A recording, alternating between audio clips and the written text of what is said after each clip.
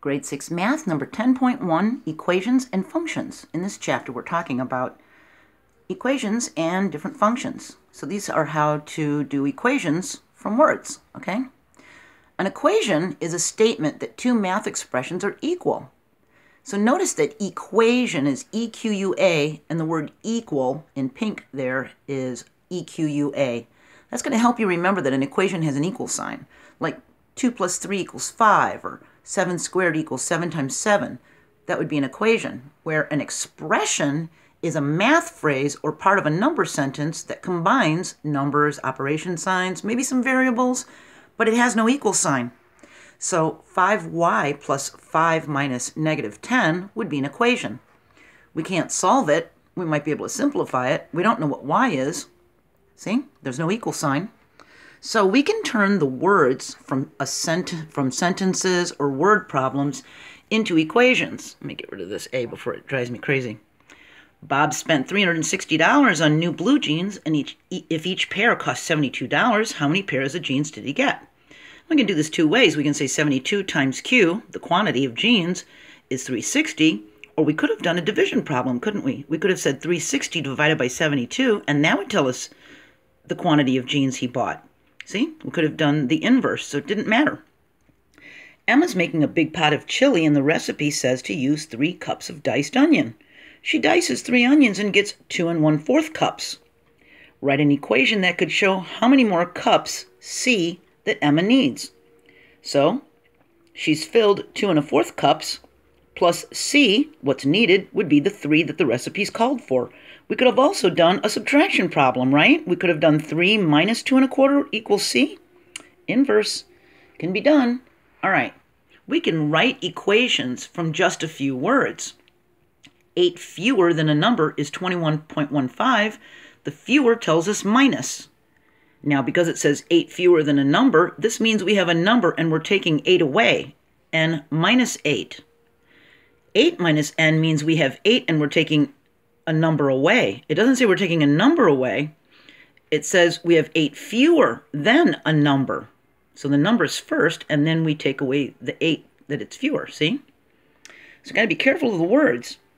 Three fourths of the price of the jeans is $48. Well, when we ever see a fraction of, that means we need to multiply to find it.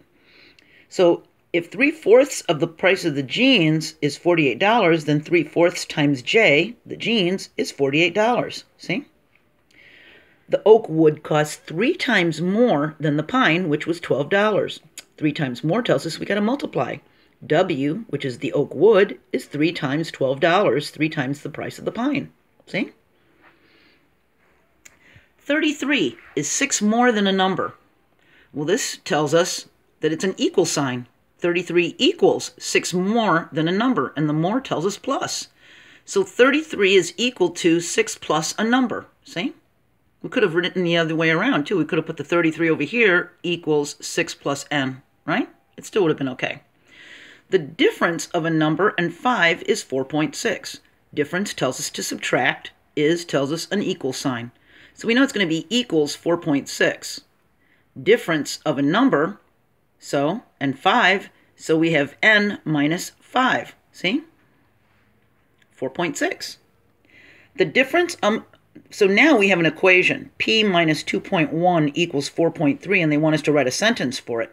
So we could write the difference of a number, p, and 2.1 is 4.3. We could have also written 2.1 fewer than a number is 4.3, and that would have been correct also. There's a lot of different ways to write these. A quotient of a number is and 5 equals 30. Quotient tells us we're going to use division. Number, we're going to use n, or any variable we want, right? Because a variable is just an alphabet taking the place of a number that we don't know what it is. So we use n because it's here. So the quotient of a number and 5, so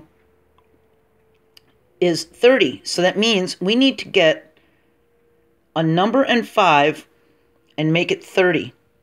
So the, a number and 5 equals 30. Something divided by 5 equals 30. See?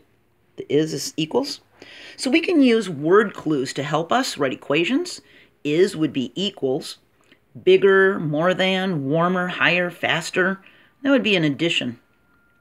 Fewer, difference, less than, lesser, that would be subtraction. If it says each times or so many times, then we know it's multiplication. If it says how many each or quotient, we know it's division, right? So there's all kinds of different words that'll help us decipher word problems and be able to make equations or turn equations into sentences that we understand what they're looking for, okay? That's how you do equations from words, all right? I'll see you next video. Keep trying. You're doing great. Bye.